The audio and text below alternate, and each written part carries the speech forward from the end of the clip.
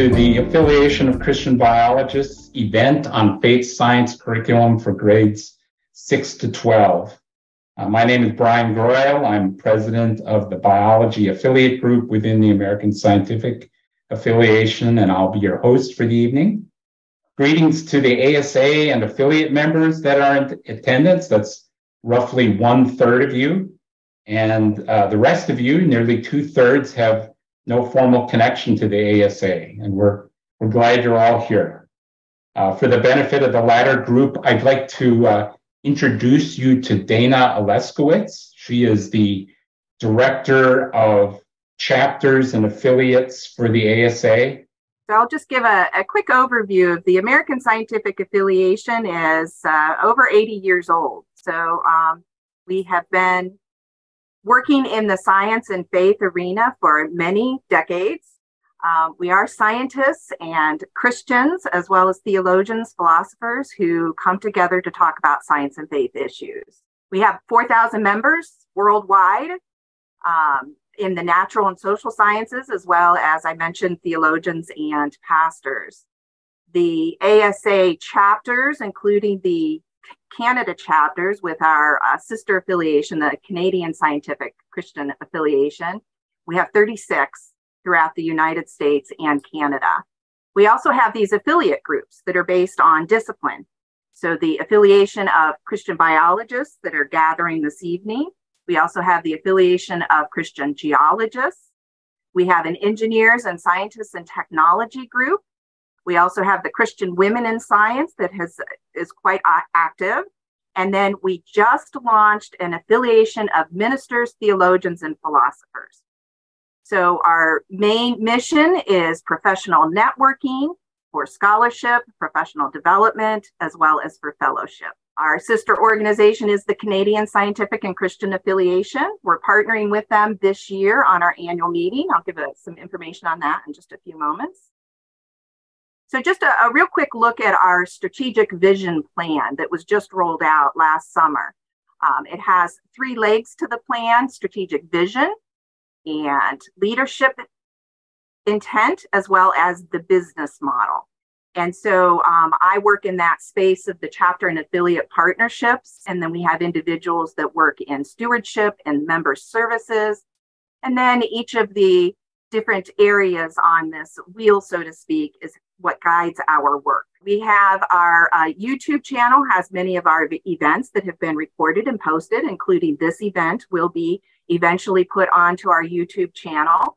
We have the God in Nature magazine that has some great articles in it that's uh, published quarterly. We also have our scientific journal, Perspectives on Science and Christian Faith as well as uh, the Diving Deeper is a gathering on the second Saturday each month where we take a, an opportunity to talk in more depth about an article that's been published in the newsletter or on a book. Um, so you can get more information from our webpage. Our annual meeting this year, we're really excited to be in Toronto. We're partnering the um, CSCA, it's their 50th anniversary. And so we will be uh, gathering on July 28th through the 31st. And then uh, Brian will give us some more information about the, this evening's event. Yeah, let me let me just say a few words first about the affiliation of Christian biologists, which is uh, hosting this event. Um, as Dana said, the, the ACB is one of the affiliate groups within the ASA. And our mission is to encourage fellowship and networking among Christian biologists and to provide support to them really uh, at all stages of their life, career, and education. Uh, we um, we serve uh, as a forum for discussion of issues at the interface of mainstream biology and Christian thought. Uh, we educate scientists and the public about the harmony between biology and the Christian faith, and that's really that piece of it is really what tonight is all about. Um, and we uh, finally we we demonstrate responsible stewardship of God's creation and model the wise use of science and technology for the good of humanity in the world. That's that's really our the mission statement for our uh, affiliation of Christian biologists. So with that bit of background, uh, let's move on to the main event. Um, and this slide that we're currently on shows our two speakers, featured speakers for the evening. Um, Faith Stults is program manager for BioLogos, and she will be speaking to us about the integrate curriculum that BioLogos has produced for grades 6 to 12. John Mays is the uh, director of science curriculum for Classical Academic Press. He's also the author of several science textbooks that are produced by Novare Science, which is a part of Classical Academic Press. Uh, tonight, John will be focusing primarily on the biology, life science, and environmental science curriculum within the Novare Science collection, but uh, he'll probably give us a quick peek at what else they offer. So with that, um, let me just say that that each, uh, both Faith and John, will be each giving about a 20 minute presentation, and then we'll have a time of Q and A at the during the last segment of the session. Um, so um, let's uh, let's begin then with Faith. All right. Hello, everyone, and Thank you so much for coming out on your Tuesday evening or afternoon. Uh, and I'm really excited to get to share a little bit about our curriculum with you. So, as Brian said, um, I am the program manager for the Integrate curriculum at BioLogos. If you're unfamiliar with BioLogos, I'll share a little bit about our organization later on, but suffice it to say that we are good friends with the ASA, um, huge supporters of their work, and really excited um, to be able to share with your community a little bit about what we've been up to. My background is that I am a was a high school physics and astronomy teacher for a number of years um, in the Christian in a private Christian school, and that's I grew up going to private Christian schools and feel very passionately about the incredible value that a Christian education can offer students. Uh, but there are also some challenges and sometimes uh, shortfalls that Christian education can come up against. And in my experience, science education was one of those where I always felt like I had a little bit of uh, mixed messages coming from my teachers about science that you know science is good and you should study it and it's god's creation and we should learn about the world around us but also there's these pieces of science that are dangerous and trying to rob you of your faith and that you should reject out of hand. Um, and so, one of the big passions of bio, the big passion of BioLogos is that um, there does not need to be a conflict or a choosing between what we learn about God through His Word of Scripture and through His world that He created, the natural world. Um, and so I'll tell you a little bit about the work that we're doing to support educators in this space as they seek to integrate science and faith in their classrooms. So, before I jump in anything, I would love to get your thoughts on a question. I'm assuming that most of you are coming from somewhere in the education space, either as um, K 12 teachers or professors or parents, maybe. Um, and I would love to hear your thoughts in the chat to this question What goals do you have for your students? Or if you're not in the classroom, you can put on your imagination hat here. Um, what goals do you have for your students' science education beyond science content, knowledge, and skills? So let's take for granted that we want them to learn Newton's three laws and be able to uh, use a triple B measure, maybe a, just a digital scale at this point. Um, but what more do you want your students to get out of their science education beyond that, those science content and skills pieces? I would love it to if you could throw a few thoughts in there in the chat, um, get a few ideas going here. I'll give you a minute to think. Right. One, to see how science coheres with the Christian faith. Uh, want them to understand how to make practical use of the information. Absolutely. I think uh, students of all varieties, and I think, in my personal opinion, particularly high schoolers, really care about that so what piece. So you want them to be able to understand why do they, why are they learning about science? How does it impact their personal life? And of course the uh, cohering with christian faith. Uh, learn critical thinking absolutely. Looking at issues from various viewpoints. Separating the science from the metaphysical assumptions. Amen. Um, if brian had given me another hour and a half we could go off on a long conversation about the role of understanding the nature of science and the uh, the methodologies of science and how understanding those um, that alone can really help bring some clarity to some of these science and faith topics. uh, to learn that God created the universe, the world, nature, humans, um, how to understand what they see in nature, uh, that my students see how nature displays God's genius and not to feel threatened or alarmed by the disagreement among Christians about how and when God created. You guys are great. Keep them coming. Um, details of God's enormous works and care for each of us every second of the day. Yes, you can keep throwing those in there. I'm going to um, uh, move on, but you can get a sense of these things that there's, you know, we want our kids to learn science contents and skills, and that is very important. But there's so much more that we want our students to get out of their science education, particularly in a Christian context. Um, when I've asked other teachers this question, some of the common themes, much like you guys, um, we want our students to learn about God's nature through studying his creation, things like his creativity, how much he values beauty and diversity, um, and he's, his patience for slow periods of time, um, understanding how scientific knowledge is developed. Um, you can read the rest of these for yourselves, developing Christian virtues through the practice of science. There's so much rich stuff that we want our students to get out of their science education.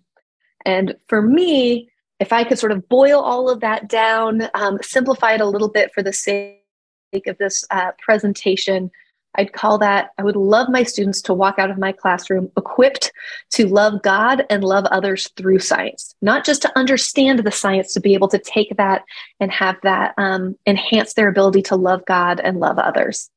And that, when I think about science education in that context, I get really excited. Um, and that is one of the reasons why, as a science educator, I'm really excited to be working for BioLogos. Um, BioLogos explores God's word and God's world to inspire authentic faith for today.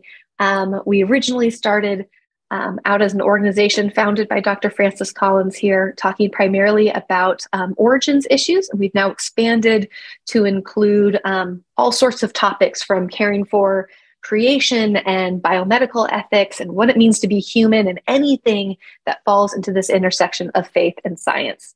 But at the heart of everything that we do, we have our three core values which is a Christ centered faith, rigorous science, and gracious dialogue. Um, and um, particular, I mean, all three of those are important. Gracious dialogue is particularly important to us. Um, it's something that our students don't always see modeled very well in their world around them. And so I think being able to bring this idea that um, when it comes to some of these topics, there are multiple different views within the Christian community that faithful Christians who take the Bible seriously can come to different perspectives on, and that is okay. We are we are all part of um, God's church and can share the communion table with each other, even if we have different views on how old the universe is and other things like that. Um, but we want to to be engaged in humble and thoughtful dialogue um, with with others in that process. So that's just a real quick overview of our organization.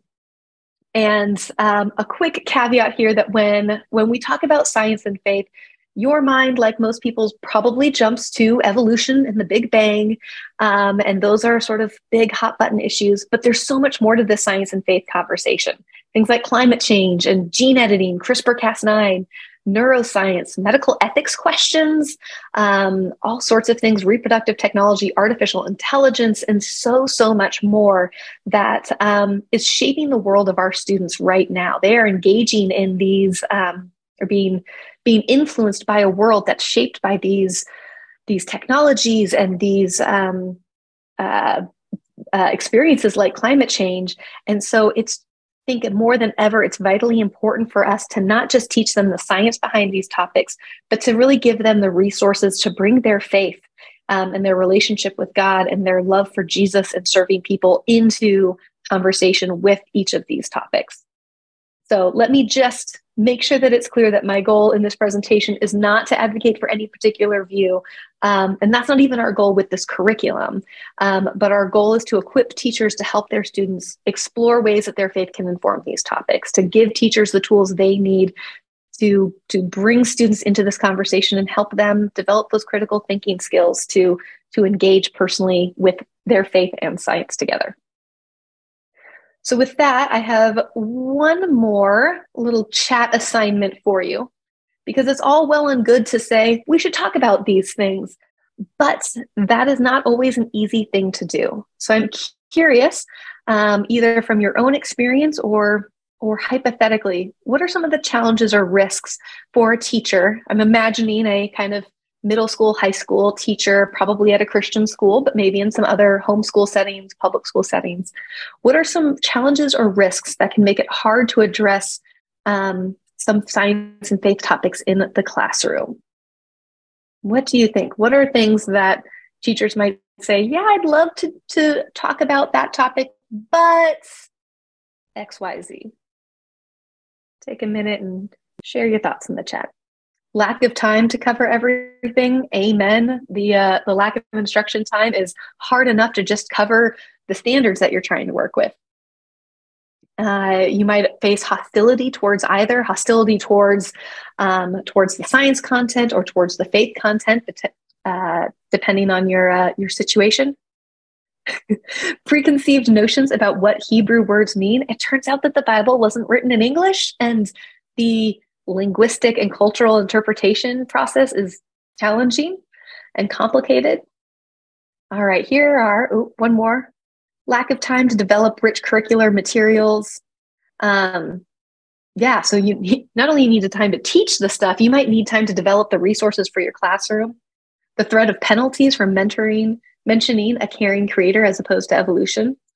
Um, yeah, so there can be uh, threats and pushback from various uh, groups of people. This list could be very, very long. Here are a couple um, that I've come across um, for myself and from other teachers. Like we already said, not enough uh, instructional time. Controversial topics can become divisive. We've all seen um, how divisive some topics, whether they're scientific or political or theological, could be in communities, and that's hard. So you don't want to bring that into your school community. You might not personally feel equipped to answer students' questions. There might be pushback from parents or administrators or the students themselves. Um, uh, wariness to support or reject specific views, kind of not knowing your audience, lack of support from administration, lack of curricular resources. These are all very legitimate reasons that uh, that teachers, particularly teachers in a Christian setting, uh, might hesitate to address some of these topics, and they're all completely valid. And so the question that I think about then is okay, so is our goal, if you think about all of those other things, those uh, those goals that we talked about for our students' science education, many of them were at that interface of science and faith. Um, we want them to see God in creation, to see how science and faith can fit together, to be equipped to step into the public sphere and engage with science and technology topics that are shaping the world around them. Is accomplishing that goal of equipping students to love God and love others through science worth facing these challenges and risks? And that's a that's a genuine question. There are some school settings where if you bring up these topics, you will lose your job. And I'm I'm certainly not advocating for anybody to do that.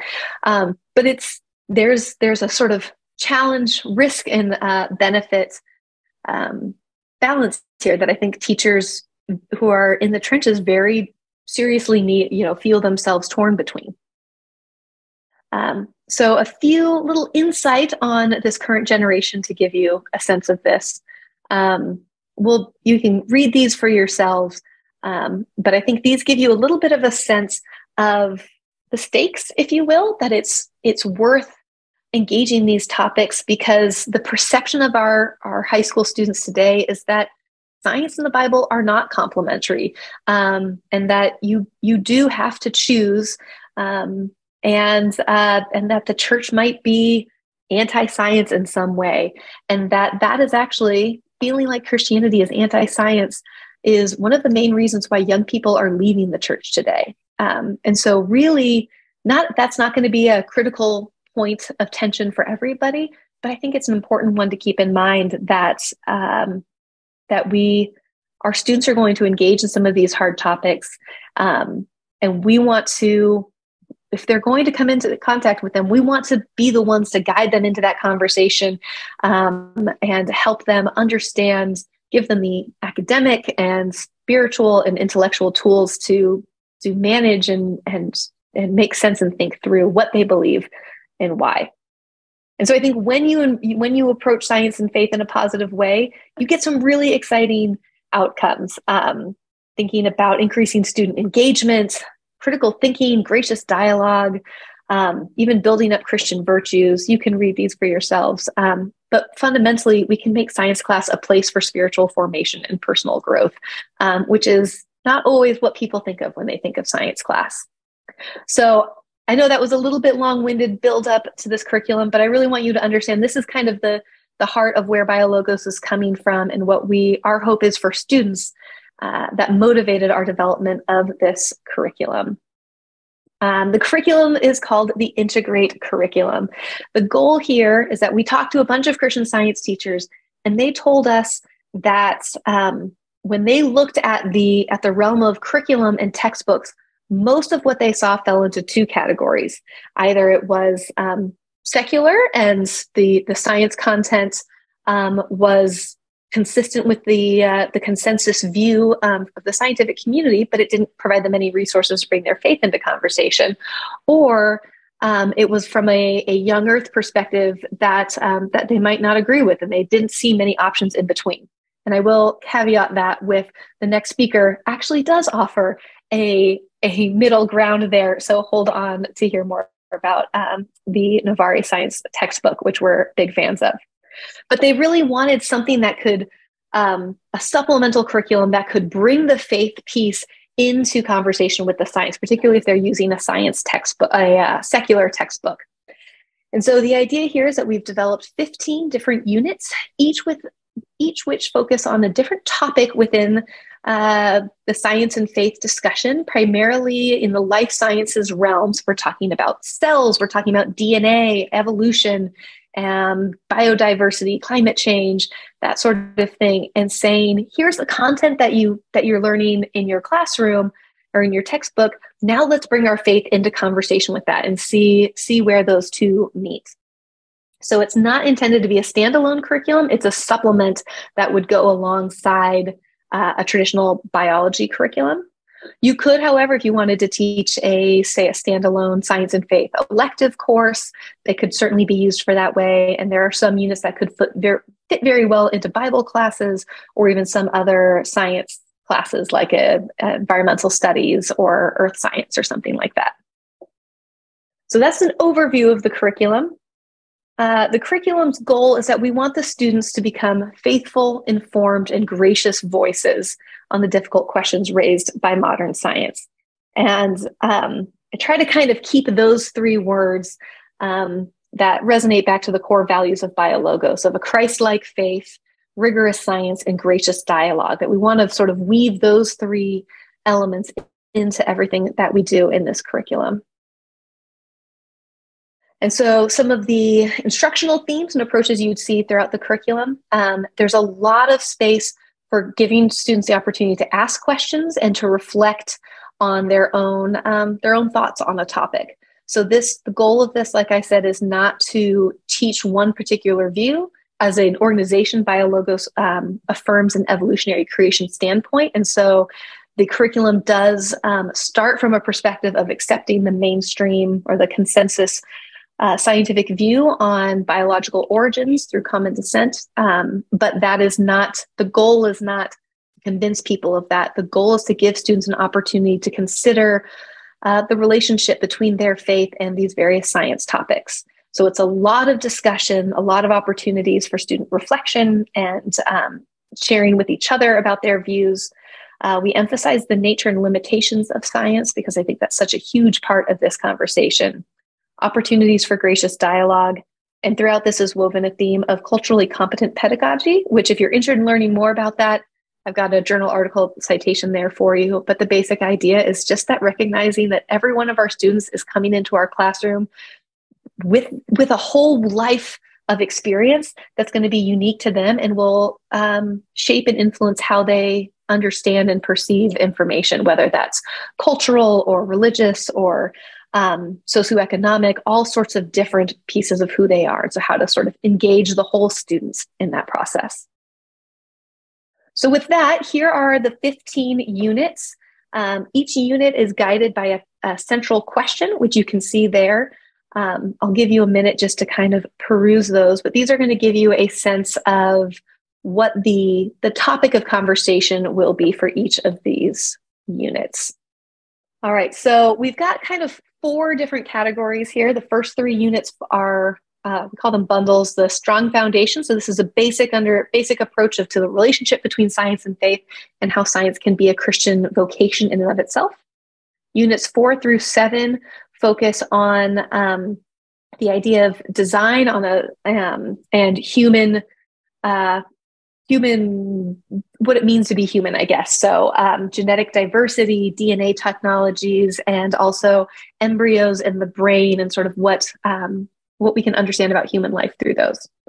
Units 8 through 11 focus on origins. So we start with a unit talking about how we interpret the bible and how interpreting the bible relates to scientific knowledge. And then we get into evolution the fossil record and and human evolution in particular and then the last four there are all about um, caring for creation, seeing God through his creation, uh, climate change, and also this idea that um, we are called to love people, particularly the least of these, and that um, one actually incredibly powerful way that we can do that is through caring for um, for the the environment and the world that we live in that we are all dependent on. So those are some of the topics, um, all of the topics that we cover.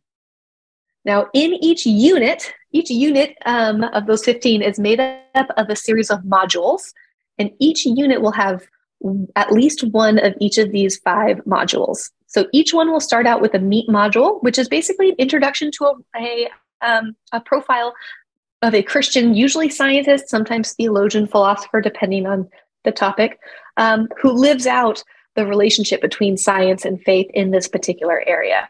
So in um, in the DNA technology one, you'll meet Francis Collins, the uh, the director of the Human Genome Project. In Seeing God Through Creation, you meet a conservation biologist um, and learn about their work in studying different um, organisms and their role in the ecosystem, and so on and so forth.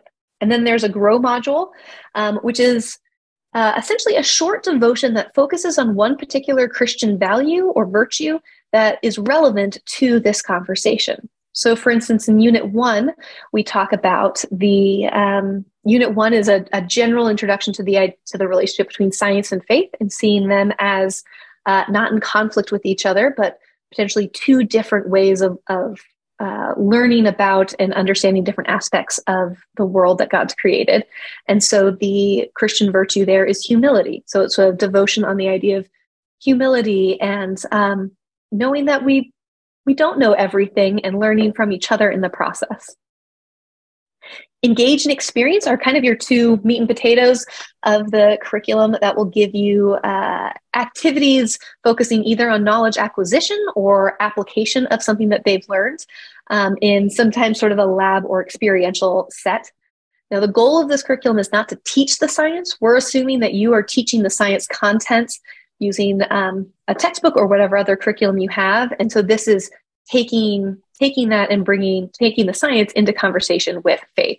So the new knowledge acquisition here would probably be here's some faith components that will then bring into conversation with the science. And then last but not least is an integrate component. This is always or module. This is always the last one of the unit. And you can think of it as a summative assessment is a strong word, but at least an activity that's um, intended to bring all of these things together. You have the central question that framed the unit, and then you get all of these pieces bringing in different components, um, different ideas into sort of the mix. And then the integrate module is where the student gets to bring it all together and reflect on their personal uh, views and understandings and responses to that central question. So sometimes that's a journaling activity. Sometimes that's um, a get out in the world project. Sometimes it's a, a, hypothetical scenario. They they all look a little bit different, but kind of give the students an opportunity to bring all of those pieces together. So um, probably, was, if we had time, I can I can walk through what that looks like all in one here. But maybe we'll um, save that for Q&A if anyone wants to kind of walk through one unit. Um, so I'll just end by saying that In addition to this actual, this specific curriculum, uh, BioLogos offers a ton of other resources for educators. Our goal in this program is not fundamentally to sell a product, but to provide teachers with whatever the resources they they need to be able to have these conversations in a fruitful positive um, way with their students. Um, if a curriculum resource is helpful for you great. If not um, we've also got lots of other things like professional development workshops um, that can be offered in person or virtually to help teachers learn about how do you have gracious dialogue in your classroom or how do you talk to parents about these things. Um, we have uh, quarterly webinars. Uh, we have a speakers bureau if you're looking for guests to come to your school, po- articles, podcasts, a newsletter, a community of educators on Facebook, and all sorts of other things. Um, so if any of that is of interest to you, you can check out our website, biologos.org slash integrate, and uh, get involved in what we're doing. And there you go. Thank you so much for listening. Thank you, Faith. That was great. All right, John. Thank you, everybody who's watching. Uh, it's a great opportunity to be here and talk about our curriculum.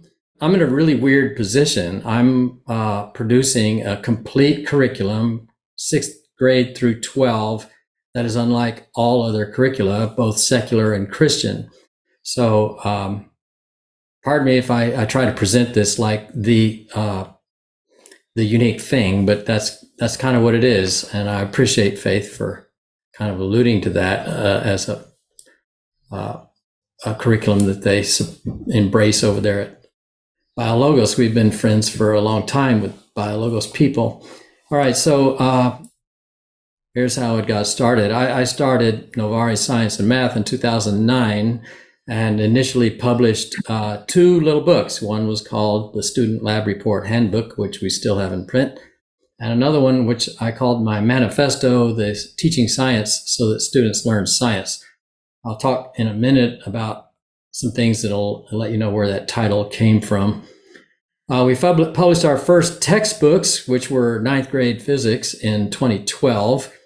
We started a um, sort of secularized version of our curriculum um, for charter schools in 2015 called Centripetal Press because charter school people started seeing what we were producing and wanted to use it, but we couldn't talk about Jesus in books that they wanted to use. So uh, Centripetal Press was born.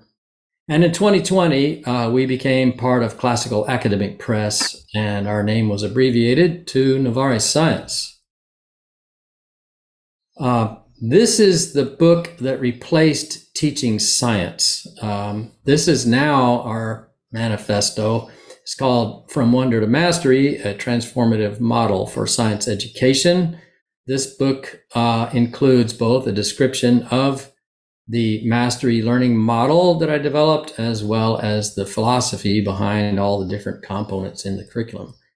Um, significantly, I'll note that appendix in Appendix A, I include a uh, somewhat lengthy summary of the many, many meta studies that have been published about the thousands of articles on mastery learning. Uh, because I have a mastery learning model that we use in our curriculum, and I'm comparing it to all the re- what's the what the models are that are used in all the research studies. So that's where that information is about our curriculum. Here's a brief overview of what we have uh, in print and what uh, how our program is organized. Um, you can see we have three books now for middle school students, life science, physical science, and earth science. Beginning in ninth grade, uh, we have uh, accelerated and grade level pathways, and um, both of the pathways begin with introductory physics. And uh, then the life sciences components in our curriculum are in the green circles here. Life science and uh, general biology are out now. Uh, advanced biology, which you could also call introductory biochemistry, uh, will be coming out in a year, and environmental science in two years. Uh, the way this program is structured, you'll notice the grade level pathway and the accelerated pathway sequences are different. And that is because of the alignment with mathematics. Um, I, I try to put chemistry with algebra 2 concurrently. So that means on the grade level pathway, that's, that's in the junior year, which means that biology comes before chemistry. And on the accelerated pathway, it's the other way around because chemistry occurs in 10th grade. Also, the ninth grade course for the accelerated path is not merely physics, but also physics and chemistry. So, a running start to the uh, chem program, uh, at, which comes prior to biology. So, for I know I'm talking to biology crowd here. This is a key element of our curriculum that in the accelerated pathway, um, we give an introduction to chemistry in ninth grade, which means the 10th grade book gets a running start. That, that accelerated uh, chemistry for accelerated students is uh, 99% of the AP syllabus for chemistry. And the uh, advanced biology book is 100% uh, of the AP biology curriculum uh, or syllabus, uh, with also some additional things in there that are um, native, you might say, to our take on how to teach science, which I'll get to in a second. Uh, current at, at, present, the life sciences texts, uh, the two that we have out and the two that are coming soon, are in print only in the Novare Science imprint. Um, I plan to bring them out in the Centripetal Press imprint, but only after I get them all done. I've got to get the Novare line finished first if I have any time left after that, if the Lord gives me any time left on the planet after that, then I will uh, seek to realize these four texts over in the centripetal line. I bring up the centripetal line because many of you may be um, associated with charter schools um, in some capacity, and it would maybe be handy for you to know about it. Uh, but the centripetal line, uh, it does talk about the wonder of creation, but it does not talk about the creator in particular. That's the difference. Otherwise, the texts are the same. There are seven distinctive features, which I'm going to run through at light speed. Uh, that, but this is this is what distinguishes us from the other publishers, both secular and Christian, of science textbooks. Uh, so, number one is that uh, we place a huge emphasis on wonder and uh, as both Plato and Aristotle wrote, wonder is the beginning of philosophy. And of course, science used to be called natural philosophy. So that's important for us. Um, but I filled this slide with uh, biological wonder terms because uh, as I've been doing nothing but life sciences for the last few years, having uh, written and published all the chemistry and physics and physical science in the first part of our life as a company. And now we're into the life sciences. I've just been bathing in uh, meiosis and uh, homeostasis and, um, you know, transcription and so on. And every single day I sit down at my computer and my jaw drops again. And uh, so this is a major emphasis of ours. Uh, Richard Feynman uh, I noticed that he made a comment that I had made, uh, and it was lovely to stumble on something that Richard Feynman had already said that um, we start with wonder, but when you discover something new, that just adds new wonder. So it's a self perpetuating cycle uh, in science. And that's the way we look at it. And this is on uh, certainly on display in the life sciences, uh, where uh, everything that you talk about is wonderful. Uh, so uh, now I'm gonna these next the the first three slides that I talk about here. Uh, I want to say that um, this is I regard these three things as uh, kind of um, a pyramid of support for what our curriculum is is really structured to to do. Um, everything Faith talked about in terms of all the things that are not the science content per se, like all the stuff that goes beyond that, all your understanding of where does consciousness come from and why is there order in the universe and why are there laws of physics and why does anything exist? These are all these questions that go beyond the content of a standard science book. And I talk a lot about those things. Um, but but when I when I structure content for a curriculum for a class or a student, my uh, my goal I, is centers around this pyramid that has three levels. The first level is wonder, which supports the whole pyramid. The second level is integration, which is my next slide, and the third is mastery, and I will talk about that when we get to it. But the first three slides, you can think about them as the as the ground, middle, and upper story of this pyramid. Now, here's the second feature, which is the second uh, story in my pyramid. In the teaching of science, there are um, four disciplines that necessarily must be integrated into the science itself. And uh, if we don't do this, we are eviscerating the, the real power of an education in science. I, I labeled this classical because these are elements that align with a classical way of teaching. Uh, so the first is epistemology. What is the nature of scientific knowledge? How does it differ from revelation from God? Um, or what are we doing when we do science? Um, I argue basically that science is the art of modeling nature. We develop models. And as John Polkinghorne has said about our models, John Polkinghorne being uh, both an Anglican uh, theologian and astrophysicist or particle physicist, um, he said scientific knowledge is both uh, provisional and corrigible. It, it is provisional because it's this is what we know right now and this is subject to change. It's corrigible because it's subject to being corrected. And um, that's that's the epistemology that i um, that we describe in each of our texts. Mathematics is the second area of integration. I taught for a number of years from those conceptual only books in uh, both physics and chemistry and discovered in the process that we were leaving out something of extreme value for every student, no matter their ability. And so I started teaching from those books and adding the math back in. And this eventually led to me writing my own texts, um, which reminds me that I didn't actually introduce myself back at the beginning, which I should probably do. So if you can look at my little uh, cameo up in the corner of your screen for a second. I'll tell you who I am. Um, I, I was an engineer, an electrical engineer for 15 years, and I went in and out of education because I felt drawn to uh, teaching. Um, and so I went into teaching, got a master's in education, but then my family and I were all starving to death. So we went back to engineering for another better than half a decade.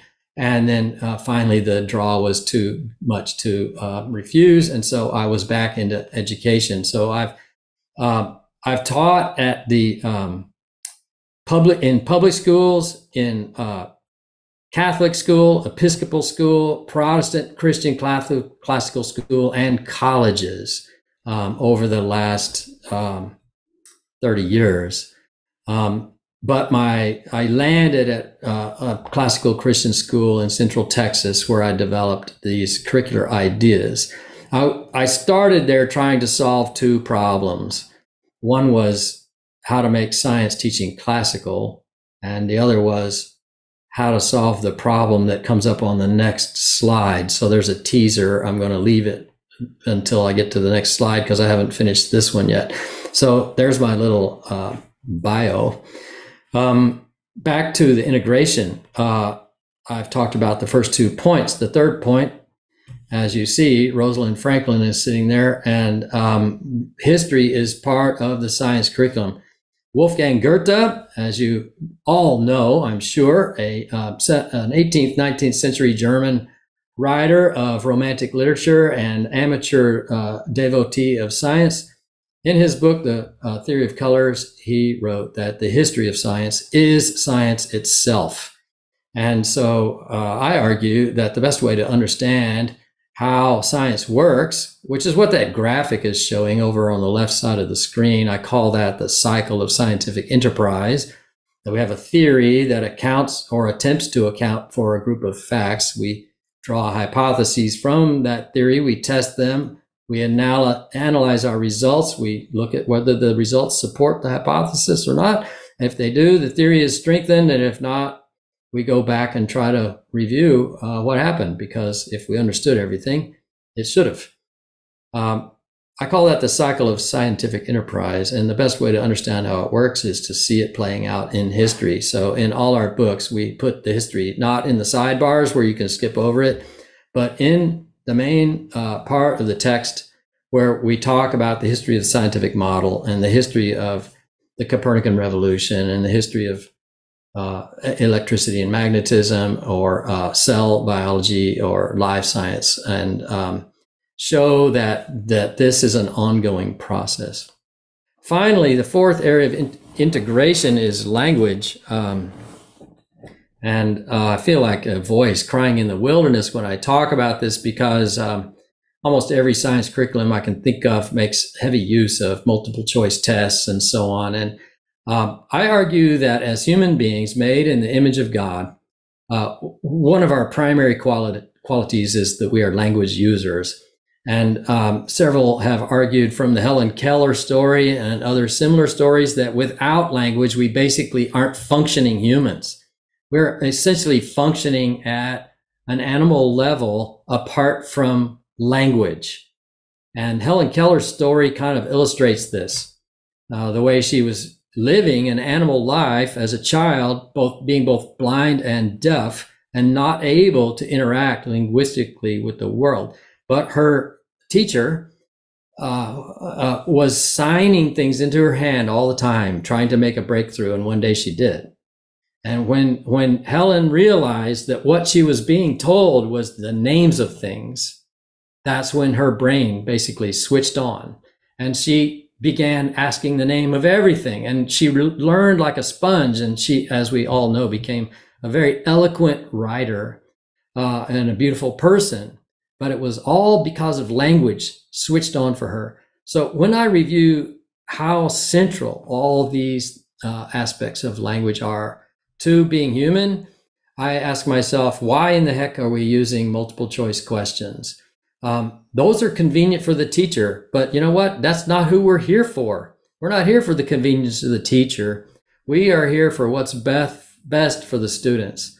What's best for the students is that they articulate scientific principles in their own words. They synthesize the language for themselves, and we hold them accountable for using good grammar, uh, accurate use of technical words, uh, clear and unambiguous expression, and so on. So these are the four elements of integration that uh, are permeate all our books. So the top of the triangle that I um, described earlier. And one of the um, things I set out to do early in my pilgrimage as a, an educator, um, I, realized that the way all the students were going through their courses, not just in science classes, but in every class, they were they were cramming for the test, they were passing it, and then in about three weeks, forgetting everything. Every teacher recognizes what I call the cram pass forget cycle and this cycle became as obvious as anything to me in about 2000.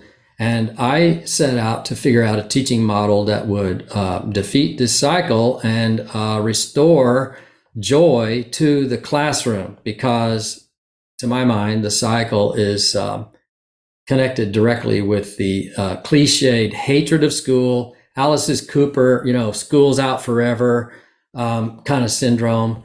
Um, everything that's wrong with school, uh, I mean, there are a lot of other problems, of course, social problems and so on, creating all kinds of crazy dynamics in classrooms. But certainly a big one is the um, the knowledge on the part of every student who's over the age of 12 that what they're going to spend the next year doing is jumping through hoops and having almost nothing to show for it at the end of the year. And so education becomes a joke. I wanted to reset that. Um, situation and come up with a different goal. So I set out to develop a teaching model that would result in mastery. And mastery I define as a high level of proficiency combined with long term retention. And uh, that is what all our books are um, designed to support. And if you want to know the details, of my mastery teaching model, then I refer you back to the slide uh, on the, the second slide and my book, From Wonder to Mastery. That is the explanation of all the details of the teaching model that our texts uh, support. The heart of the of the idea is that all the assessments in any class are cumulative to the start of the year or even before. So students are constantly being tested on old knowledge as well as new. They have to be taught how to study correctly so that they can survive under such a regimen, which means they are taught to practice, not just to forget what they've done before, but to practice, constantly practice what they've done before. Just like if you're learning Latin and once a week you get out your flashcards and you practice all those definitions of all the vocabulary, that's what we need to do with science content as well.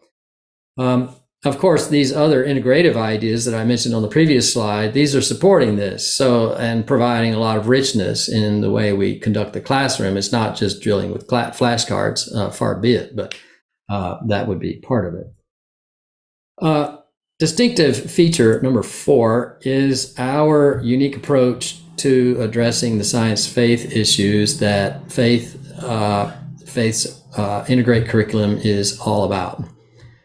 Here are three bullet points summarizing our approach to three big uh, controversial uh, topics. On the age of the earth issue, you could state our position by saying, well, with respect to what other people might think. The evidence for a very old Earth was already persuasive uh, a couple of hundred years ago. So we're going to take that one as um, settled. And in our Earth Science book, we just adopt an old Earth point of view and we go through the science. Um, we acknowledge on one page at the beginning of the Age of the Earth chapter that there are other Christians, believers whom we respect, who have different views about the age of the earth, and we respect that. But that is not the view that we're presenting.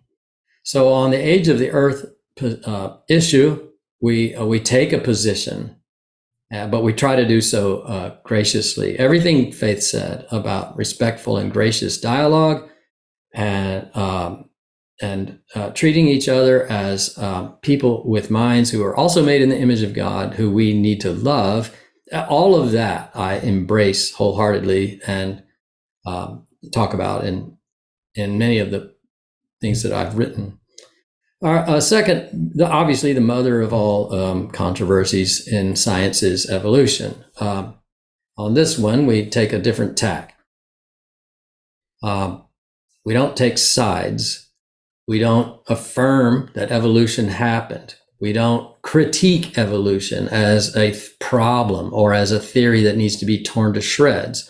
We don't do anything except uh, present a faithful and robust presentation of the mainstream point of view that natural selection uh, and other factors have uh, brought about the present uh, 10 million or more species uh, via common descent. Uh, we present the, uh, the, evidence that supports that uh, theory in the five major um, categories of evidence. Um, whoops, how did that happen? Somehow hit my escape button or something.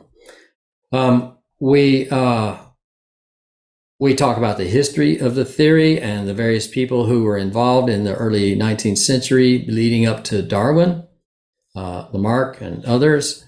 And um, and and we uh, the main thing is, um, unlike all other Christian publishers, we do not critique this theory.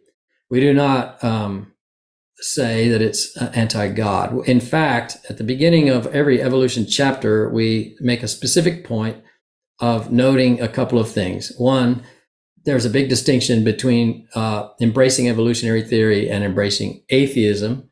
And in Christian writings, these are often conflated, and this uh, aggravates me to no end. So we make a distinction here. This is not atheism we're talking about. There are a lot of Christians who embrace evolutionary theory. They're obviously not atheists. So we make that distinction very clear. Another distinction we make clear is the nature of scientific knowledge. As I, you know, uh, pointed out in an earlier slide, uh, science is about modeling nature. We come up with a model that uh, represents the data we have before us to the best of our ability. That model says that, you know, the best way we have to account for the fossil record and the strata and so on is that there was a, a descending or, a, a, yeah, descending uh, or ascending, however you want to look at it, sequence of fossils and complexity of life forms. And the theory of evolution is the best model we have to account for such data. Um, so we don't need to be afraid of this. Uh, these data aren't uh, aren't to be conflated with uh, truth claims. They are scientific models subject to provis- uh, provisional and corrigible, as Polkinghorne has described it. The uh, a, a, third big uh, controversial issue these days, as everyone in this presentation knows, is climate change, but not just climate change, but um, environmental destruction in general. And we are um, we we have presented this these issues in uh, short form in some of our prior books in like a little piece of a chapter on ecology. Life science has a chapter on ecology. So does general biology. Um, they treat you know lots of issues, and these are some of them. Uh, we're doing the same thing in the uh, AP biology but when we get to environmental science, we will be treating it in a great deal more length, as well as developing a theology of creation care uh, that is going to be in that book. But um, our approach to dealing with this will be pulling no punches, and we do, we do not pull punches in the books we already have out, even though they treat these issues only in brief. But uh, we will not be denying any of the science. We will be going with the mainstream the environmental destruction and climate change are real. And uh, this is a very serious issue for us. But I will tell in a moment about how we uh, are going to deal with that in our environmental science uh, curriculum, in particular, when I get to that. All right, a distinctive feature number five. I'm going to accelerate a little bit here and go through this quickly.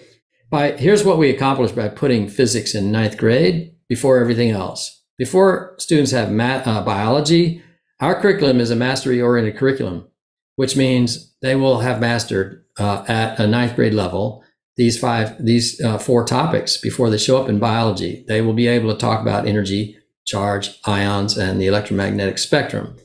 They'll know what the wavelengths are when you get to photosynthesis. Uh, and they'll know what energy is before we talk about what's going on in the cells with ATP. And before they take chemistry, they will have had those four things, of course, but they will have these basic math skills completely mastered isolating variables, unit conversions, the metric system, scientific notation, uh, oh, metric prefixes I listed separately, and significant digits uh, without the addition rule, which we leave for chemistry. Um, I always ask chemistry teachers, what would it mean to you if all your students coming in already had a complete mastery of unit conversions and the metric system and the metric prefixes. And they always say, well, that would make my life a lot easier. And that is exactly what happens.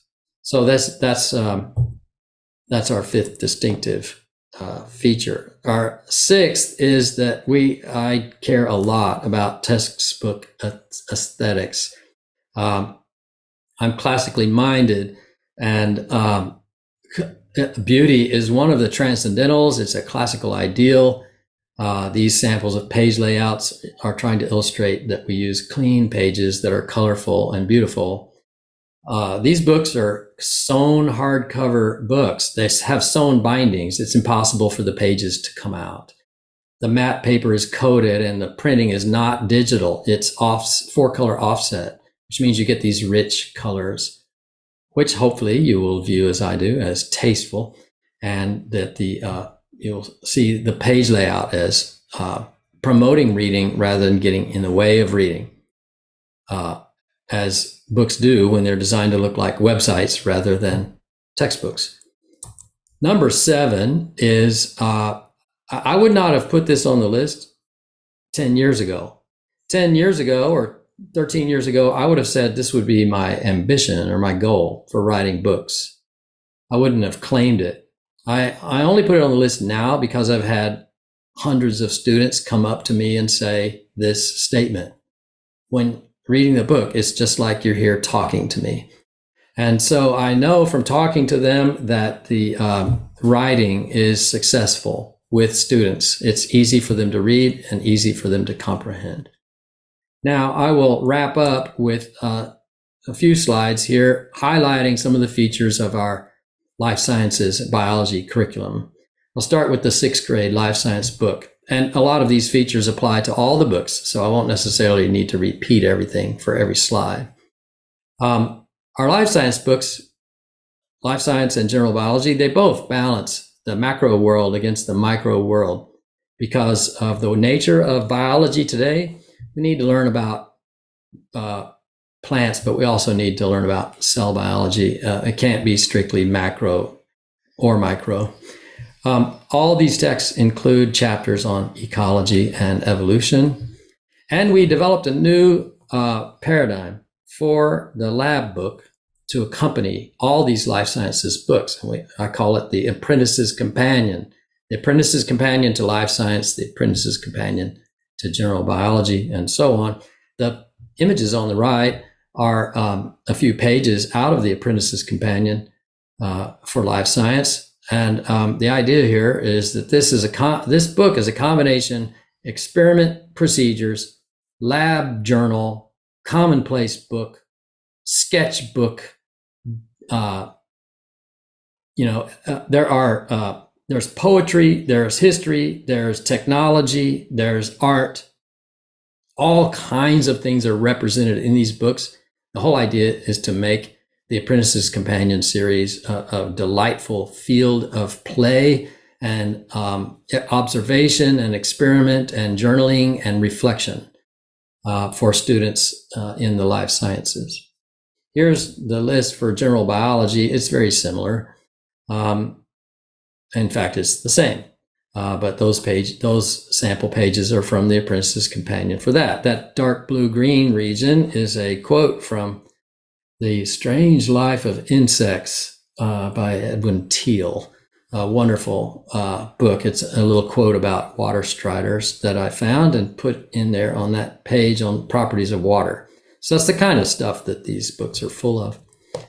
Um, this is the one we're uh, just wrapping up work on now. Um, actually, today, uh, finished first drafting all the chapters, and um, we, the review process is underway. And this book is scheduled to come out next year.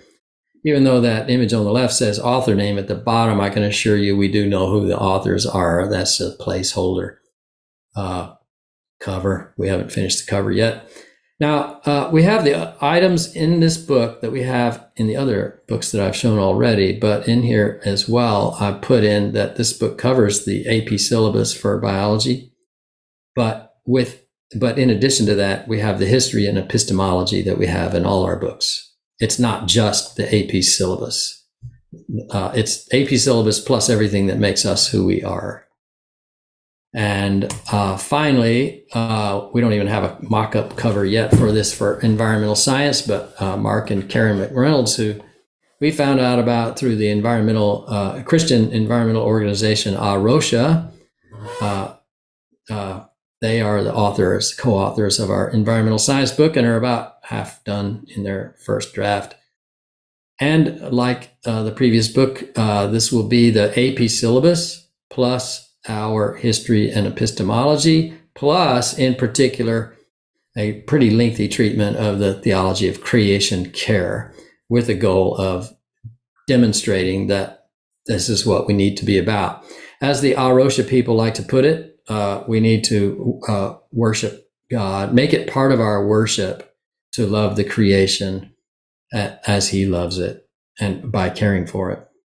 Uh, the book will take climate change, pollution, eco destruction seriously. But um, when Mark McReynolds read my um, little prospectus for how we were going to do this book, which was a which was um, oriented around we're not going to do finger pointing. We're just going to focus on what do we know and what can we do. He loved it. He said, "I want to write this book," and he said, "I want to add a third goal to this. Uh, I want to do all this with a positive tone, a message of hope, so that our uh, high school students who are staring into the future, uh, sometimes very bleakly, um, can come away knowing, wow, God has us in his hand and there are things we can do and let's, let's get going. So that is our uh, attitude as we prepare that text. Uh, this is my final slide. Uh, if you want to look more about our books, uh, the Novare curriculum can be found at classicalacademicpress.com. The centripetal curriculum is not listed on that website yet. It will be someday, but right now it's got its own website, centripetalpress.com. And that is the end for me. Uh, thank you, John. Now, now we'll enter into a, a period of Q and A. Um, while we're waiting uh, for questions, um, I have a question that I'd like to ask, um, and uh, I guess this is directed to Faith. Um, Faith, you mentioned that the integrate curriculum is not really intended to be a standalone curriculum, but would be a good uh, supplement for curriculum produced by Novare Science, for example. Do you have any guides that um, that make recommendations for which units would would correlate with um, specific chapters in the textbooks produced by Novare Science? Yeah, we are we are working on curriculum maps that do just that for a handful of the most popular textbooks that people use. So Novare is definitely on our list and would highly recommend Novare as a potential textbook to pair integrate with. Um, right now, the only textbook that we've developed that curriculum map for is Miller and Levine, which is kind of the standard high school biology um, textbook that is most widely used throughout um, the US. And so that's a probably a 10 page document that goes unit by unit through that textbook and says, here's where we would plug in each, not just each unit from Integrate, but each module. Um, and um, and sort of weave those two together. And so that resource is nearly ready. And then we plan to do that also for Campbell, which is a sort of standard AP biology secular textbook. And then um, Novare would be um, high on that list as well, for sure. Okay, good. Fred Cannon, why don't you unmute yourself and uh, ask your question? Yeah, so John and Faith, I really appreciate you putting this together. It's an incredible amount of work um, and and a beautiful balance. Um, my question has to do with what is your reception, a among Christian schools, charter school types, and public schools. Uh, do you do you find that a lot of the Christian school teachers are saying, "Well, I'm I'm young Earth, and I don't think evolution happened"? Are you hearing, "Oh, it is a breath of fresh air when you are open to it"? Or what? What's what are you seeing in among American Christian schools, especially. John, I'm curious. You've you've been kind of in this space a little longer than I have. Um, it depends on which conference you're at. Um, uh, I I I do uh, I I go to conferences with the Great Homeschool Convention, several of them per year, and then I also go to the um, Association of Classical and Christian Schools and the um, Society of Classical Learning conferences. Uh, the classical conferences, although there are a lot of young Earth uh, creationist types at those conferences, they are at least equally matched by those who uh, who have a different understanding of things. At the uh, greater homeschool conferences, uh, the balance is a little more toward uh, people who have a young Earth understanding. So I find myself in lots of conversations with people. Um, I like to tell them this story, which happened the year our um, Earth Science book came out and uh, I think it was 2015. Uh, a head of a school, a classical Christian school, uh, came up to me at the conference and he said he was going to use our Earth Science book. And he said our entire school community is young Earth creationists.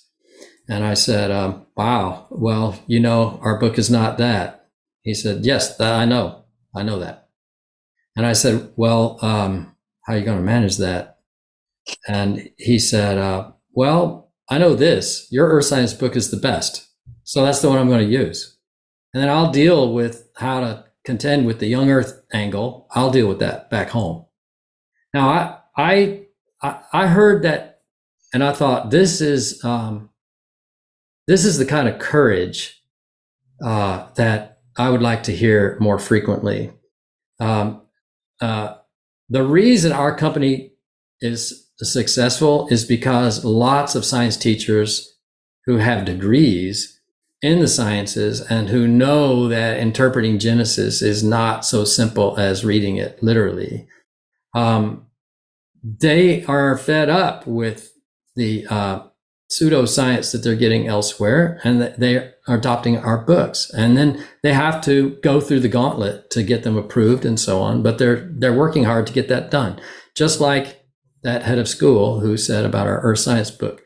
When we published the earth science book i thought well this is it. Either we're going to lose most of our customers or something else is going to happen. And we, you know i think we lost two customers out of you know hundreds back in that time. Um, since then, I've been approached by many teachers and heads of school and homeschoolers with the same attitude about this question.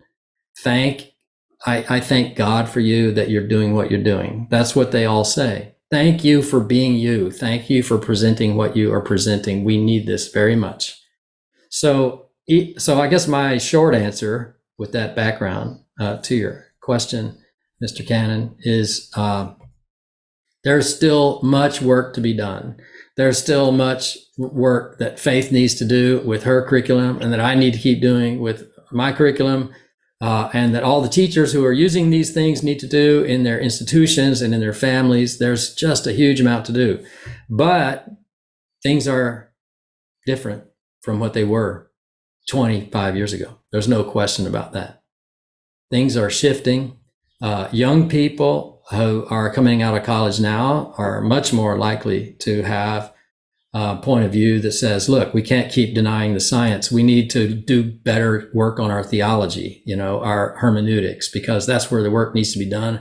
If I've taught my whole life that the earth was made in six literal days, uh, it sounds like I'm in the Copernican revolution time all over again. And basically we are. It's just that this time is taking more than 100 years to work it out. Um, you know, they got the Copernican revolution done in about 100 years. It's taking us about twice as long, apparently. Uh, but the, things are moving. So um, I'm very encouraged. Every time I go to a conference and these people come up to me and say, you know, the reason we adopted your curriculum was because you were the one who was saying that we don't need to be afraid of evolution and that the earth is old and that climate change is real. Um, so I'm very and very encouraged by that, even though I also have people come up and say, well, your curriculum is not for me. So. Yeah, I don't have anything to add that's very consistent with my experience. You you get people who don't a- approve of what you're doing and let you know that, but the vast majority of people are um, at least respectful, and there's always um, a a significant and growing population of teachers who see the value of of the types of curriculum that John and I are working on and um, are getting engaged. So, Faith, I would add, your what I see in yours is this is very good for parents that have kids going to public schools because you're mm-hmm. not replacing their books, you're augmenting them. Uh, are, are, you finding mm-hmm. a, a, a market, a home for that kind of use of your books? Yeah, we tried really hard to make integrate useful in a lot of different settings. So the two primary uh, sort of audiences that we had in mind were teachers at private Christian schools and home educators, Christian home educators who wanted a, a different option beyond young earth creationism. Uh, so that's really who it's targeted to. But um, parents of, of students at who attend public schools and also youth ministry settings and that sort of thing are are great um, you know would be very very benefit from this uh, curriculum the curriculum has only actually been out for a year now almost exactly so we're still just getting the word out there and trying to find our footing in how to how to reach people just to let them know that this exists and getting feedback and learning about how it can be used best. Uh, but certainly, that's a group that we would love to get this into the hands of. I'd like to say a word about Integrate. Um, Faith uh, paid me the compliment of saying that they like uh, the Novare curriculum over there at BioLogos. I'd like to return the favor. Um, last year, when the curriculum was finished, I bought I bought a copy and downloaded it and started going through it. I read through four different units out of the 15. I read through four in detail and watched every one of the videos, went to every link, read every paper. I, I went through four of the units exhaustively uh, to get a feel for the curriculum. And I was completely uh, just overwhelmed at how, at, at well, at new, at several factors, but um, it was not what I expected. I expected like we're going to go in and help people understand why evolution happened.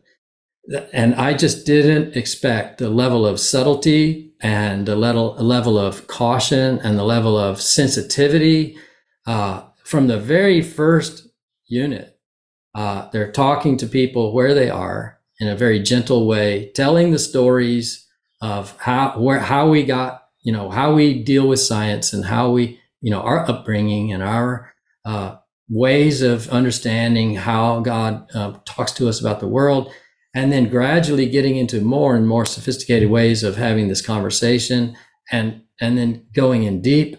And after going through those four units, I was I was completely impressed. I thought this is one of the best curriculums I've ever encountered. I couldn't find a rough edge anywhere. So um, I heartily endorse the curriculum. I mean, the full curriculum is basically, as Faith said, a year-long um, uh, elective credit course uh, in a science and religion class. It would qualify for that in a high school curriculum. Uh, it's it's quite it's quite good. I'm I'm I couldn't be happier that we have this curriculum available. And uh, I actually had a woman email me uh, last year and say uh, what would you give to us um, if we are young earth creationists trying to understand the other people's point of view? And I said, well, here are four resources. And I went down the list. And uh, I think the second on the list was um, just go to the BioLogos website. And the fourth on the list was look at their integrate curriculum, uh, being the most intense uh, engagement with that question. Tim Hoymier has a, a, question. Can you unmute yourself, Tim, and, and go ahead and ask it? Okay. Am I on? Yes, you yes. are. I, I, I've done Zoom quite a lot, but on my tablet, I'm a complete neophyte, apparently. okay. So um, I've, I'm a retired physics uh, uh, professor. Um, it's been on my heart to to help particularly young people, but anybody who will listen, um, that they, uh, it's a false choice between faith and science. And one of the things I've used is the idea that there are core ideas, uh, as uh, done in the Apostles' Creed, for instance, core values um, in the Christian faith, and other things are not core values, and that devout believers who know the grace of God uh, differ on those. And I'd, I'd like to just say, uh, uh John, that you're. Uh, I took a look at uh, um, uh, the biology, you know, online, and you, you have something in the FAQs about um, your stance on evolution, and you have a very w- wonderful. Um, a, a, what I think is a very balanced view, and that really is is the one I've been trying to get across. You said that Christianity is a big tent, and people disagree about secondary issues, which I thought, oh, that's a good phrase. I, I hope you don't mind if I borrow it. Um, that uh, that there are many issues that people of faith disagree about uh, but they needn't, uh, they shouldn't uh, involve uh, uh, breaking fellowship, and and but I'm so you know there there is a pervasive idea about about some of these things that that, that you and I might think are secondary issues, but other people think are core issues. And I'm tutoring my uh, my grandson in uh, physics. Uh, he's a ninth grader, and his textbook, uh, from a from a Christian point of view, actually had a quote I saw to my horror that uh, um, uh, evolution, the devil's uh, most wicked tool, something like that. And I was going, Ugh. in my physics textbook. So I'm not trying to. When when I talk to the students, I don't push either one or the other, young Earth, old Earth. For Kim, do you have a question that you want to ask? Yes, I'm sorry. I'm sorry. I'm, I'm a, such an academic. Um, yeah. So, uh, do you guys have any ideas as to how to get more people on board with understanding that Christians do have diverse views other than or, or beyond uh, these fine curricula that you do, you developed? Well, if, if I could weigh in, um, the, the first thing is just to say the fact Christianity is a big tent. I mean, worldwide, worldwide, I think uh, the number of Christians who embrace evolutionary theory exceeds the number who don't. And um, I think that's important for our students to understand that that we we live in a kind of a bubble here. But uh, more sub- substantially, I guess I would say um, there are two passages in the scripture that I think need to be front and center when we're talking about this. And the first one is uh, I call it the thief on the cross argument. You appealed to the um, uh, Apostles' Creed, uh, which is uh, good, but um, the, the thief on the cross went to paradise that day. And he didn't know a single thing except mm-hmm. that the guy on the cross next to me is it. He's the center of the universe. I don't understand a thing about it, but all I need to do is say, Remember me when you come in your kingdom. And his answer is, Done. You'll be with me there today. So I call this the thief on the cross argument. That this is the minimum of what is uh, needed for uh, entering into God's kingdom is trust in Jesus nothing else. So all the age of the earth stuff, all your approach to biology, all your views about communion, everything, that's all secondary. Jesus is it. That's primary. And if you want to say, okay, we have a few other primary doctrines, fine. Kind of have a, a short list, you know, the Trinity, uh, so on. Uh, but I center on the thief on the cross. Okay, his faith was was saving faith as bare bones as it was, and it had nothing to do with his understanding of the age of the earth. Uh, the second key passage is John 17, where Christ specifically, overtly prays, knowing humans the way we are, that we're going to disagree about everything. He prays to the Father that we will be one, as He and the Father are one, and moreover, that the world would know that the Father sent the Son by the fact of our unity. Mm. This tells me that we are way out of line, that we are spending all our time bickering. And we have we have now spread the bickering to go beyond biology to politics and government and everything. It's now the Christians bicker about everything. And it's the exact opposite of what the Lord prayed for us. So, so what I um, encourage my students to think about is, and teachers when I'm speaking to them, is uh, Christ's final prayer. I mean, his last big teaching through that prayer to his disciples was that we would be one. And he did that knowing that we were going to disagree about everything because that's just the way we are. So I I say then we need to live up to that prayer. We need to say, yeah, we all disagree about everything. So what? I disagree with my kids, my wife. I disagree with my dog if I had one. We all disagree about stuff. What we need to do is learn to love each other anyway. That's what he wants us to do. Love each other anyway. Say, you know what? Mm. I disagree about with you about that. Can I get you another cup of coffee? Can I wash your car? Can I, you know, take out the trash? Love each other anyway and recognize that the things we disagree about don't have anything to do with whether we're saved. They just have to do with our uh, present journey through the process of understanding the relationship between the world God made and our endeavors at understanding it. And that's a process we're always on, everybody. So, uh, disagreeing about things is um, not only counterproductive, it's um, it's just out of step with what the Lord uh, has basically commanded us to do, which is love one another. That's well, well done. I appreciate that. Thank you. All right, we'll take one more question. Uh, Joseph Long, you want to unmute yourself and ask it? Thank you. Uh, I I love this. I love everything about this.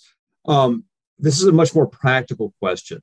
I am on the curriculum committee for a recently established ACCS school here in the Rochester area. Um, I also happen to be employed as a philosopher, uh, I, as a, in the philosophy department. Um, I do philosophy of science. So this might seem a little meta, but at the same time, I intend it to be pr- fairly practical. Um, if I understand the Novare approach to understanding scientific theories or scientific claims, it goes essentially like this. We should not evaluate scientific theories so much in terms of their truth, approximate truth, so on, but rather in terms of power, which I take to be something like kind of a broadly instrumentalist approach. On the other hand, if I read Biologos, which I haven't read enough of the integrate uh, curriculum, but at least Biologos broadly, I would take their approach to be to scientific theories, say the theory of natural selection, to be actually, no, it's pretty close to true. Um, I'm imagining if we were to say, as the suggestion is, to combine Novare and integrate, put those two together and have our teachers teach this, then the question is, how would our teachers approach the theory of natural selection? Would they pr- approach it as something that is not to be evaluated in terms of truth, or is it something that should be evaluated in terms of truth? But here's all the evidence for it. I'm just trying to think about our teachers. How would they present this, assuming, as we want to do in our school, we want to have a very, very much a big tent approach to this? Yeah, I think that's um, one an excellent question. Um, the the integrate curriculum I probably wouldn't get that deep into the philosophy of science to really point in one direction or another as far as like an instrumentalist approach or this sort of truth um, direction. The they're definitely um, making an argument or at least presenting the idea that that the natural selection makes a claim and here are pieces of evidence that support that um, but it i wouldn't frame it as therefore it is true i think i mean i personally am inclined towards that um, that uh, explanatory power um, sort of definition of a theory of a theory and there is some emphasis one of our units the second one is essentially epistemology of science and faith and sort of the differences and similarities between those two. And a big emphasis within that in the science area is what um, I think John was mentioning, of Polkinghorne's comments about science being tentative. It is um, the the tension that I've often heard it framed as is tentative but trustworthy in a sense of there's rigor to the way that we come about. We arrive at these claims that we make, such that they're not um, insignificant. There is evidence and um, and support behind them, but nothing in science is ever 100% proven. There's nothing that we can write into stone now that could never be undone um, pending new observations and new data. And so it is tentative in that sense, um, and that uh, I think we we at Biologos describe uh, evolution as the best current model we have, um, evolution through natural selection, uh, to explain the the genetic or the uh, biodiversity that we see. Um, but who knows what future uh, research and findings could could unfold. I'll, I'll, just add a couple of things to that. I'm looking at Terry Gray's comment in the chat box. He says, I would prefer using the idea of approximate truth rather than uh, instrumental a view of what a theory is. I think uh, that's probably more along the lines of what I uh, have put in our texts. I don't actually use the word instrumental anywhere. Um, what I do say is uh, echo quotes that I found across the board in scores of different scientists who say what we hope is that our theories are getting closer and closer to the truth as time goes by. Um, but that right, but that at any given time, the best we can say is we hope for verisimilitude, meaning this is something like the truth. If it's not the truth, it's something very much like the truth. It's still tentative, but we hope that as we develop this over time, it gets closer and closer to the truth. And of course, knowing that at any time, you know, the whole uh, model of particle physics can be thrown upside down uh, at any moment. Uh, so we know that can happen, and it has happened many times uh, when you know we have a paradigm shift. Uh, so uh, I do uh, aff- I do affirm that what we all intend is our theories are getting closer and closer to the truth. I also like to affirm that as a believer, um, and I, I, haven't written on this. I've spoken about it in numerous talks at ACCS and SCL and other conferences. Uh, that um, as Christians, we need to advocate uh, for not only efficient and material causes for the world as we see it, but also the other two that Aristotle articulated the formal and final causes and this goes back to what Faith was saying about this the things that aren't part of the content of the science itself. I want students to know how to calculate density, yes. I want them also to know uh, why explaining homeostasis is really hard because, and it may be, as Scott uh, Turner has written, it might, it might, not be doable from uh, strictly material and efficient causes because there is a God who makes things that are alive live. Uh, Psalm 104 essentially says when they stop living, it's because he takes their breath away. God is the life source, that, you know, the vitalism, if you will. I like Scott Turner's book, Purpose and Desire. I think it's a great example of how science has uh, often talked itself into a corner because it's stuck on material and efficient causes. So as a Christian teacher, I, I tell students and teachers, we need to also realize that things exist for a purpose. There is a final cause that they exist. And there is a formal cause. They are not random in their uh, nature. They are the way they are because God wants them in some way or another to be the way they are. Of course, there's a there's a fallenness to creation too. There's a. That's all creation groans, as Roman eight tells us. So we have to factor that in too. David Hart has told us to, you know, recognize this dual thing about um, Earth. Uh, it's the most beautiful, stunning, jaw dropping, wonderful place there is. It's also in bondage to uh, suffering and decay. And so we we have to recognize both these things. And part of our theology is working on how do we understand that. Well, we need to uh, bring this to an end here. Uh, thank you so much, John and Faith, for joining us this evening. This has been a tremendously informative session, and uh, I hope that it has whet the appetites of uh, our our attendees uh, to find out even more, maybe even uh, get a direct look at at the curricula. Um, at conferences or purchase it outright based on what you know. Um, this is this has uh, been really helpful. Thank you again, both of you. I wonder if um, uh, Carl Carlos uh, uh Pinkham, if you could unmute yourself and and close us in prayer. Thank you, Bruce. Precious Heavenly Father, we just thank you that you have created such an incredible universe, a universe that we could study for our lifetime and the lifetimes of all the people on the earth today and still not comprehend even a small portion of the beauty and wonder and awesomeness of your creation. Thank you for Grace and for John and the effort they're undertaking to make comprehension of what we do know something that is meaningful and lasting. Thank you for the affiliation of Christian biologists and the vision that hopefully everyone will start seeing that you have given us.